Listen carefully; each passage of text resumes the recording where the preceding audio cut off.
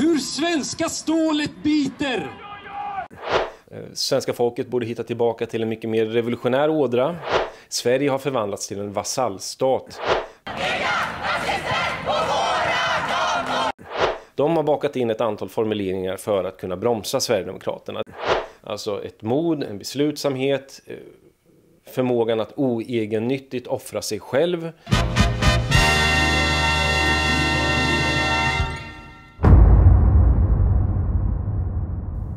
Hej alla dissidenter och vanligt folk. Jag heter Per Ström och är oberoende dissident. Här publicerar jag mina videokröniker, informationsfilmer och dokumentärer om politisk korrekthet och det politiska vansinnet. Om du har lust att stödja kanalen ekonomiskt är det mycket uppskattat. Då kan jag fortsätta att göra filmer.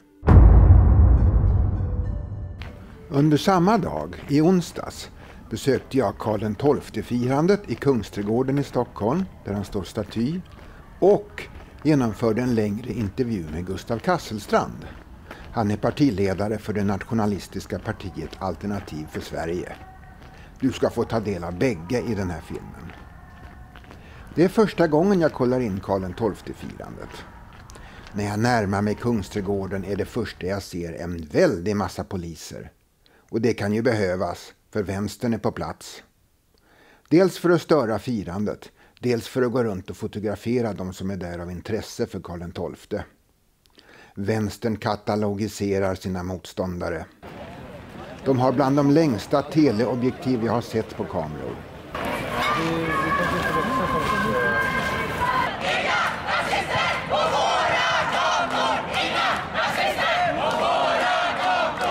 Varför är du här? Eh, jag är ju här för att eh, Karl XII dog eh, 1718 och han var väl 36 år va. Och jag tycker det är värt att visa lite sympati med en, en, eller i alla fall en konung i Sverige som har betytt mycket för svenska folket och har till och med fått en staty här i Kungsträdgården. Och jag tycker att det borde vara fler svenskar som är här och visar sitt, eh, sin eh, hylla honom. Man visar att man närvarar istället för att sitta hemma och kolla på SVT en sån här kväll. Jag har till och med laddat upp med köttbullar och potatismos ikväll efter det här. Med, med brunsås och lingonsylt och så. Kul! Ja, det är en tradition.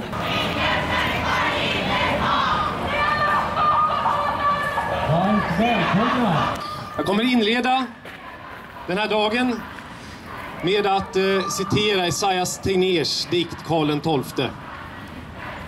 Och därefter har vi kransnedläggning.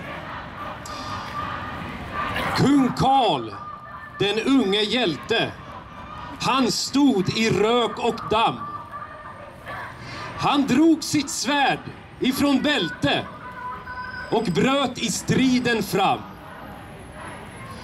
Hur svenska stålet biter! Kom låt oss pröva på! Ur vägen moskoviter! Friskt mod i gossar blå.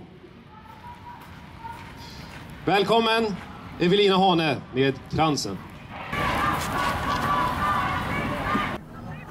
Nu ska vi backa i tiden några timmar till den intervju som jag genomförde med Gustav tidigare under dagen. Jag ville bland annat diskutera det nya politiska läget efter valet med honom, men en del andra saker också. Välkommen till kanalen Nu fan räcker det! Jag sitter här med Gustav Kasselstrand som är partiledare för Alternativ för Sverige. Gustav, många väntar sig ett så kallat paradigmskifte nu när vi har fått en, en ny regering. En ny kurs för Sverige. Nu har vi sett Tidöavtalet och regeringen har regerat i sex veckor ungefär. Vad tror du, blir det någon ny kurs för Sverige? Nej, det mesta pekar på att det nog inte blir något paradigmskifte. Ja och nej, tror jag. Ja, det kommer bli en ny kurs för Sverige retoriskt. Det kommer bli ett mer öppet debattklimat, så vi kommer få ett paradigmskifte som gör att invandring och många andra frågor kan diskuteras på ett friare sätt än tidigare. För svenska folket röstade ändå bort den socialdemokratiska regeringen, så jag skulle tro att vi kommer få en eh, bättre debatt framöver, absolut. Och det är nog så viktigt att förstå att en fri debatt är det som leder fram till konkreta förslag. Men får vi ett paradigmskifte när det gäller realpolitiken? Ja, mer tveksamt. Givetvis innehåller tidavtalet en del bra förslag, en del intressanta formuleringar som vore totalt omöjliga för en socialdemokratisk regering och det ska man inte underskatta kraften av att använda nya ord. Men jag tror inte man ska hoppas på allt för mycket. Tidavtalet eh, innehåller en hel del formuleringar som gör att vi inte kan vara säkra på att de här förslagen kommer att genomföras.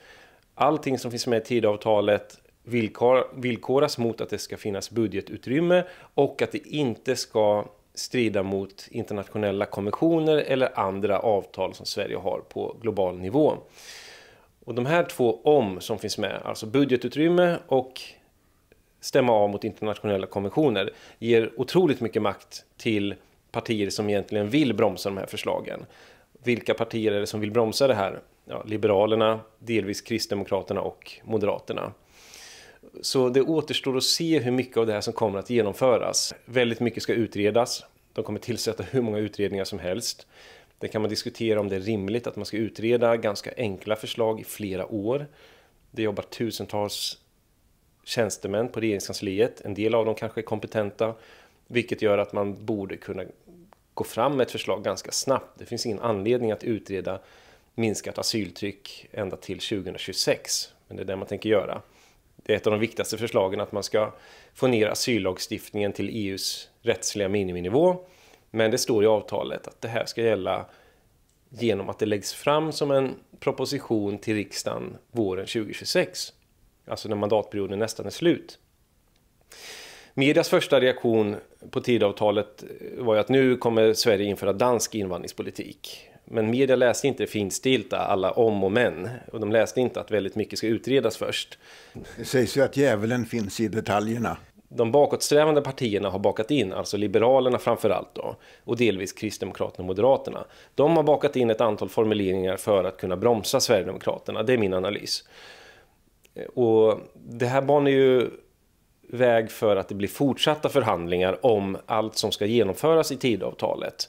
Har vi pengar för att sänka bränsleskatten eller har vi eh, utrymme att, att genomföra ditten och datten?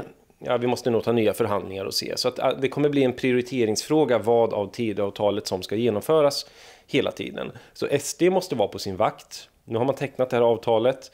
Man har utropat sig som segrare. Jimmie Åkesson sa i Agenda att de har fått igenom i stort sett hela sin invandringspolitik. Tror du att SD kommer att stå upp för sin sak och kanske till och med spräcka regeringen om de andra försöker att lura SD?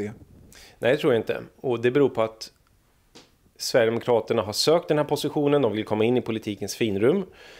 De eh, vill ha det här samarbetet med Moderaterna. De har jobbat i många år med detta. Ända sedan de uteslöt mig och gamla SDU så har ju siktet varit inställt på att vara en del av regeringsunderlag med Moderaterna. Så när man har jobbat så länge och anpassat sig så lång tid för att det här ska bli verklighet så vill man inte sänka det här i första taget. Jag skulle tro att de här partierna inte har incitament att spränga regeringen. SD har inte incitament att göra det. Man vill inte för guds skull riskera något nyval eller ens diskussioner om det. Att... Så du tror inte att det finns någon risk att Magdalena Andersson trots allt återkommer som statsminister under mandatperioden? Ja, osvuret är ju bäst, men jag tror inte det. Och det baserar jag på att de här partierna i, i tidavtalet inte har någonting att vinna på, ett, på att spränga regeringen eller utlysa ett nyval. Gustav, när man kollar på hur folk tänker och röstar i Sverige idag så ibland funderar jag på om folk har någon slags undergångslängtan. vad, vad tror du om det?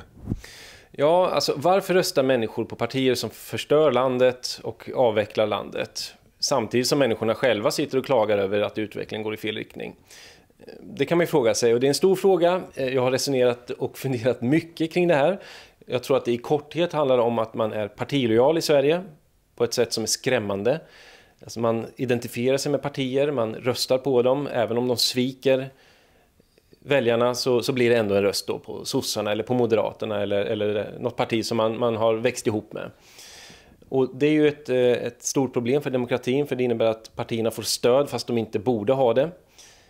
Eh, svenska folket borde hitta tillbaka till en mycket mer revolutionär ådra, protestera mer, demonstrera mer, klaga mer och inte vara så, så snäll mot partierna. Det finns väl en viss förhoppning om att de yngre kan, kan förändra någonting här. Men, men återigen, alltså, vi, vi, det är ett jätteproblem det här. Det, det, är ett gigantiskt problem. Och det beror väl delvis också på att media och partierna lyckas demonisera alla utmanare. Alltså man kan säga att ja, vi kanske inte är helt perfekta, men oj, oj, oj, titta på Alternativ för Sverige. Det är ett fruktansvärt parti, ett hemskt parti. Sådana kan du i alla fall inte rösta på. Det var ju så man lyckades förhindra människor att rösta på SD under så lång tid. Det är ett helt systemfel kan man säga. Och för att belägga det här med att svenska folket faktiskt har varit emot invandringen så är det bara att titta på folkomröstningen i Sjöbo 1988 när en majoritet av kommuninvånarna röstade nej till att ta emot 15 invandrare. Nu har det kommit miljoner sedan dess, men redan då protesterade man. Vad ledde det här till? Varför är det så intressant vad som hände i, i en liten skånsk kommun 1988? Jo, för det första att vi aldrig någonsin har fått rösta, varken före eller efter, om invandringen till någon kommun. Vi har haft massor av olika folkomröstningar här och var, men aldrig om invandringen. För det andra, vad ledde det här till för reaktioner? Jo, Ingvar Carlsson som då var statsminister gick ut och fördömde det här. Carl Bildt fördömde det, som var moderatledare. Han sa att det var tragiskt. De som låg bakom det här i Centerpartiet, Sven-Olle Olsson och några andra profiler, blev uteslutna ur Centern. Olof Johansson som då var, var Centerledare rensade ut dem. Så man markerade tidigt att, att man får inte yttra sig i de här frågorna. Och om du yttrar dig eller försöker internt i partiet påverka, som man gjorde då i, i Gammelcentern som fanns kvar i Skåne, då är du borta, du är körd. Eh, och jag tror att det här har skapat ett skräckvälde även inom partierna, där partierna möjligen har haft en del personer som har sett att det här är på väg att, att gå i helt fel riktning, men de har varit rädda om sin karriär. Så mm, flera olyckliga omständigheter har gjort att, att folkets vilja här om att begränsa invandringen kraftigt aldrig har slagit igenom i faktisk politik. Enda gången det har slagit igenom är ju faktiskt egentligen Eh, något år senare då, då Socialdemokraterna genomförde Lucia-beslutet. Då gick det plötsligt bra då från sossarna att genomföra det här. Eh, man tyckte att det kom för många asylsökande så, så då totalstoppade man faktiskt nästan invandringen i ett år. Men sen kom den borgerliga regeringen 1991 och rev upp det här. Det var det första den borgerliga regeringen gjorde. Vi har levt i ett hyfsat välfungerande land med stor tillit och vi räknar med att våra politiker och makthavare försöker göra det bästa för oss. Så har vi blivit uppfostrade. I andra länder har de korrupta politiker som minsann eh, är dåliga mot folket. Men här i Sverige så har vi ju bara snälla politiker. Eh, så är i alla fall väldigt många pensionärer uppfostrade. Och den här insikten av att våra politiker har totalt tappat kontakten med verkligheten, blivit galna och korrupta, den är ju väldigt smärtsam för många svenskar att göra. Alltså att vi är ett mer dysfunktionellt land än våra grannländer. Vi är ett mer dysfunktionellt land än de flesta länder i Europa. Vi kanske har politiker i Sverige som är mer ur takt med sitt eget folk än något annat folk, någon annan politikerkår i Europa. Att som svensk inse detta, det bryter mot hela ens identitet, det bryter mot allt man har blivit lärd i skolan. Så att jag tror att det är det som har gjort det väldigt smärtsamt, väldigt svårt för svenskar att protestera mot de egna politikerna. Det hör hemma i andra länder, det här med demonstrationer och, och, och protester och annat. Vi, vi vet ju alla vilken som är den viktigaste frågan för Alternativ för Sverige, men vilken är den näst viktigaste? Ja, om du tvingar mig att rangordna på det sättet så säger jag EU-träde. För Europeiska unionen idag beslutar mer än vad Sveriges riksdag gör. De har mer makt än vad våra egna politiker har. Ja, det sägs att 70 procent av lagarna som berör svenskar tas av EU. Ja, och givetvis har man inte utrett i detalj hur stor andel det är, men det finns ju undersökningar från både Tyskland och Storbritannien som säger någonstans mellan 40 till 70 procent. En del lagar kommer ju direkt från EU som direktiv eller förordningar, men sen finns det också alltid tusen olika regleringar som du måste förhålla dig till när du stiftar egna lagar. Det är därför Sverige hela tiden måste stämma av med EU. Får vi göra det här beslutet? Får vi sänka den här skatten? Eh, vad får vi egentligen göra? Och så måste man ringa till EU. Det blev ett jävla liv på etablissemanget när snuset skulle bli dyrare. Ja, precis. Och då, då har man ju öppnat upp för att nej, det här är oacceptabelt. Det här, det här funkar inte. Men jag, jag, jag påminner alltid om vad EUs funktion är. Att om EU fattar beslut om en lag, då ska alla länder följa den. Det är därför Sverige är så förbannade på Polen och Ungern, för att de inte vill följa vissa EU-lagar. Så du har inte någon rättighet egentligen som land att strunta i lagar som du inte tycker om. Och sen säger man att nej men ni kan få behålla ert undantag för snuset och så ska vi vara tacksamma. Åh tack snälla, vad generöst att vi får behålla snuset och att ni inte punktbeskattar det. Det är samma med vedkaminer som egentligen skulle förbjudas också. Och egentligen skulle man väl riva ut varenda vedkamin från varenda hus i Sverige som var byggd före 1994. Men där fick vi också undantag. Och det är ju en helt bisarr ordning att det ska sitta byråkrater i EU och besluta om undantag som ju är ett sätt för dem att skapa meningslösa arbeten för sig själva och vi ska känna oss tacksamma och så vidare. Och det blir hela tiden diskussioner om saker som EU inte ska lägga sig i. Eh, och ah, på allt detta med den här klåfingrigheten och de ger sig in i varenda sak som de lovade att de inte skulle ge sig in i. På allt detta har du en enorm EU-avgift också som är större än hela rättsväsendet. Det Ligger på närmare 50 miljarder nu. Den avgiften kommer öka i takt med att vi ska betala av på den här gigantiska skuldfonden som vi har bundit oss till. Den här så kallade coronafonden där vi har lånat pengar av internationellt storkapital som ska betalas av till 2050-talet. Utvecklingen är ju solklar. EU har blivit en fullfjädrad politisk union. Sverige har förvandlats till en vasallstat till den Europeiska unionen. Och det värsta av allt är ju såklart att det inte förs någon debatt om det här. Journalisterna är för ointresserade eller för okunniga att rapportera om någonting som händer nere i Bryssel. Politikerna är överens, i alla fall alla riksdagspartier, om att vi ska vara med i Europeiska unionen. Det finns helt enkelt en väldigt låg kunskap generellt i Sverige om vad EU innebär för oss. Så jag ser det som att vår viktigaste uppgift är att ha en upplysningskampanj. Vad innebär EU-medlemskapet för Sverige? Det hade man i Storbritannien.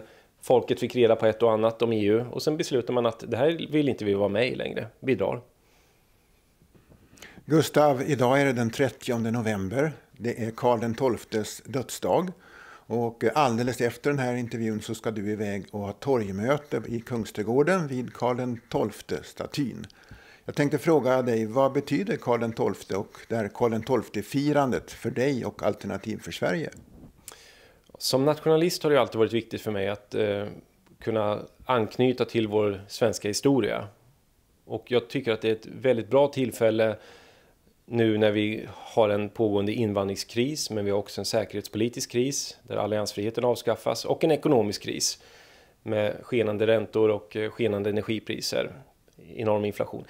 I dessa tider när vi befinner oss i kris, då är det viktigt att vi kan slå an eh, till vår historia och söka stöd och kraft i den. Det har man alltid gjort tidigare. Det gör man i alla länder. Att när vi har bistra tider, då blickar man bakåt till sin historia. Och det här med att, att högtidlighålla 30 november, det är ju en stolt tradition ända från 1800-talet. Och det har ju tyvärr då kommit att förknippas väldigt mycket med kravaller och, och skinnskallar och allt vad det kan vara. Det där är före min tid, men, men egentligen var ju 30 november då som tidigare en reaktion på en politik som var felaktig, en kris som man befann sig i. Alltså ett sätt för, för svenska ungdomar att få manifestera sin stolthet över att vara svenska när man kände att det var hotat. Vänstern gillar inte det här med Karl XII-firande. Nej, och vänstern hatar det här. Karl XII har ju alltid varit deras stora hatobjekt. Om de överhuvudtaget känner till honom. Nu är ju vänstern idag så historielös att de flesta vet ju inte vem det är. Men om de känner till honom så representerar han någonting så radikalt annorlunda från vad vänstern eller någon politiker för den delen är idag. Alltså ett mod, en beslutsamhet, eh, förmågan att oegennyttigt offra sig själv, att dela både segrar och, och förluster med sina soldater. Alltså han levde ju i enkelhet trots att han var enväldig kung och trodde att han hade fått sin makt av Gud så levde han faktiskt i enkelhet. Man vittnar om att han gick och la sig sist av alla och var uppe först av alla i fält. Så väldigt enkelt, åt enkelt. Att vi minns den här dagen, det är inte ett sätt för oss att säga att allt det Karl XII gjorde var, var rätt. Det fanns säkert felsteg och så vidare, men att kunna knyta an till historien och visa på en personlighet ett hjältemod som han och hans karolinska armé representerade, det, det, tror jag är viktigt även i vår tid. För människor som kan sin historia och som känner identitet med sin historia blir mindre lättkontrollerade. Det blir starkare människor. Medan människor som klipps av från sin historia, vilket vi känner igen från alla totalitära kommunistiska stater, blir ju mer lättkontrollerade. Man lever i ett vakuum, man blir rotlös. Och vi kan, vi kan eh, förfasa oss över att eh, i Sovjet så skrev man om historien fullständigt eller i, i Kambodja med Pol Pot så var det samma saker. Men det är faktiskt samma syndrom även i Sverige. Vi ska skämmas för vår historia, alltså den historia som åtminstone inte är så kallad modern. Vi ska helst inte kunna någonting om den. Om vi ändå kan något om den så ska vi fördöma den. Karl XII har ju varit utsatt för ett antal förtalskampanjer det finns till och med riksdagsledamöter som har motionerat om att statyn ska bort för att han representerar en del av svensk historia som man inte kan identifiera sig med. Alltså krigen, umbäranden. Eh, man vill inte att vi ska veta om något av det där. Hur många procent fick Alternativ för Sverige i riksdagsvalet? Vi fick 0,26 procent och det var ju en marginell minskning jämfört med 2018. Vad, vad beror det på att inte fler röstar på Alternativ för Sverige? Även om vi nu i efterhand kan se vissa delar som vi hade kunnat göra annorlunda så tror inte jag att vi skulle kunna påverka resultatet markant. Det, det har jag svårt att tro och det beror på att externa faktorer gjorde att många av våra sympatisörer röstade på Sverigedemokraterna. Och jag har svårt att se några åtgärder från oss som skulle kunna hindra dem att rösta på SD. För i valrörelsen så märkte vi, vi, vi kände att vi hade ganska bra vi, vi hade en bra form i valrörelsen från det att vi lanserade valrörelsen i mars till början av augusti då vi hade vår stora valupptakt. Vilket också var en av få gånger som vi fick uppmärksamhet i mainstream media. Det var då vi hade valupptakt samtidigt som Pride-paraden ägde rum. Ni är ju generellt nedtystade i mainstream media. Precis, och i det här valet så fick vi ungefär hälften så många omnämnanden i media som vi fick 2018. Om man tittar på den, den kompakta ned, nedtystningskampanj som sker mot AFS så är det nästan otroligt att vi, vi uppnådde nästan 17 000 röster. Vi hade drygt 20 000 röster i förra valet. Eh, med tanke på att det fanns eh, nästan ingen energi i den här valrörelsen och vi hade otroligt svårt att, att eh, få media att skriva om oss. Men det vi ser som är intressant och som vi kommer att analysera vidare det är att Sifos opinionsundersökningar de hade en månad före valet så hade de övriga partier på drygt 3 Och det här sker i mätning efter mätning. Övriga partier seglar upp till rekordnivåer ungefär en månad före valet. Från att ha legat ganska stabilt på 2, 2,5 procent och sen nosar man uppe på 3 procent. Så vi kände att det kanske finns chans på 1% i alla fall för Alternativ för Sverige. För det var ju vårt mål då. 1% då får vi valsedlar utlagda. Men sista månaden så förändrades allt och vi kan se på, på, eh, på Sifos mätningar att eh, övriga partier börjar tappa drastiskt. Och övriga partiers fall sista månaden sammanfaller med en ökning för Sverigedemokraterna. Medborgerlig Samling var ju också väldigt besvikna på valresultatet. Precis, och jag tror att den här effekten har drabbat både Alternativ för Sverige och Medborgerlig Samling. Att en månad före valet så sker det som ofta sker att ja, jag kanske inte ska rösta på ett parti som ändå inte kommer in i riksdagen utan jag ska nog se till att rösta bort sossarna. Eh, och man ser till och med att övriga partier går från 3 i början av augusti till 1 vid valdagen. 4% spärren i sig får människor att inte vilja rösta på nya partier för att de kanske inte når upp till 4%. Eh, och det är det här vi stöter på hela tiden. Teorier om bortkastad röst och så vidare. Och det kanske var därför vi lyckades i kyrkovalet som inte har någon spärr. Det är ju ett helt proportionerligt val. Eh, du får mandat ut efter hur många röster du har fått. Eh, och då var människor väldigt benägna att rösta på oss. Är du optimistisk vad gäller Sveriges framtid? Nej, det kan jag inte vara med tanke på att politiken fortsätter i stort sett som tidigare. Som jag sa precis att man ska inte underskatta det positiva är att vi får säga nya ord nu och att det kommer nya förslag fram på bordet. Även om de inte genomförs så signalerar ju det att, att Sverige går i en ny riktning i alla fall. Men fortfarande kvarstår ju fakta att Sverige har sina portar öppna på vid gavel. Asylinvandringen fortsätter. Medborgarskap som delas ut kommer ske i hundratusental. Det är hundratusen människor som står i kö för att få medborgarskap nu. Som kommer få det nästa år. Nu har man signalerat en, en medborgarskapsreform, att det ska bli svårare. Men det kommer ta flera år att få den på plats och man har inte dragit i nödbromsen nu. Så allt pekar på att antalet utdelade uppehållstillstånd och medborgarskap kommer ligga på en i stort sett rekordhög nivå under flera år framöver. Eh, jag tror inte att eh, Sverige kommer vara i ett bättre skick om fyra år än vad det är idag. Det har ytterst svårt att tro. Och, och det är väldigt enkelt och det beror helt enkelt på att när du fyller ett land med fler och fler invandrare så blir Sverige mer och mer avsvenskat folkutbytet fortsätter. Jag talar alltid om ett folkutbyte, för det är så man skulle beskriva en situation i varje land där den inhemska befolkningen hela tiden minskar som andel av den totala befolkningen.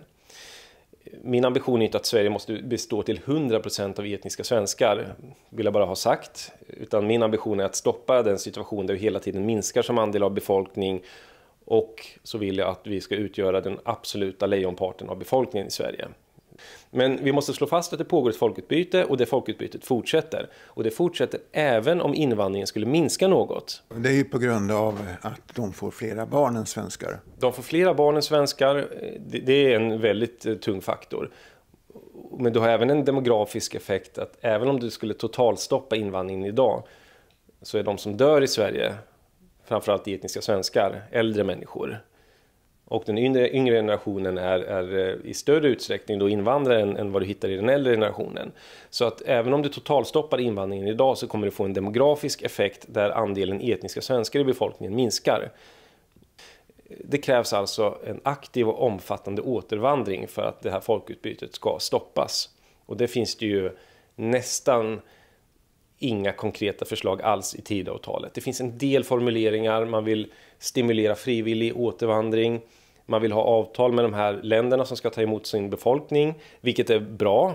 Det förespråkar jag själv, men jag tror att man måste gå fram med återvandring som bygger på myndighetsbeslut där man går igenom uppehållstillstånd och medborgarskap och beslutar att du måste lämna landet, du har inga särskilda skäl att vara här.